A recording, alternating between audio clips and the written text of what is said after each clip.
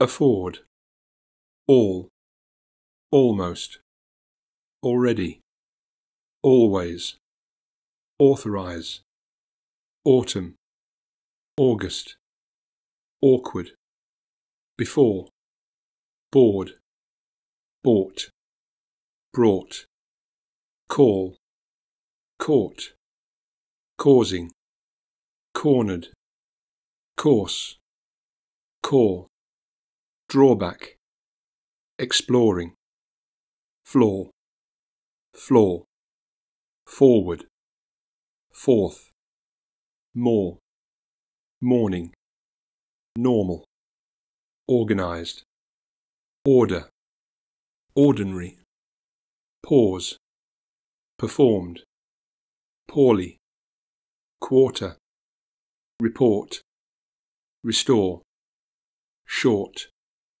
small, sort, sources, store, support, sure, thought, unfortunately, warning, withdraw. Almost all of the feedback has been positive. Any changes to working practice need to be approved by the board. As you've already seen in the presentation, our plans take this into account. Can it wait? I need to get to the bank before it closes. Check the small print. Did that order go through?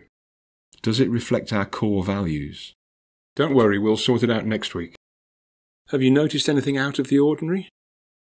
I need you to authorise this transaction. I wonder if we can pause for a moment and take some questions? I'll try to keep this short and to the point. I'm not convinced that all online reviews are reliable sources. I'm sure there'll still be one or two more surprises in store. If you would like more information, please contact us.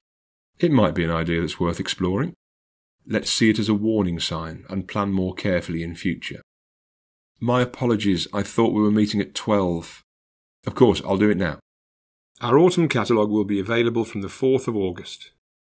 Thanks for coming. This is just a brief progress report.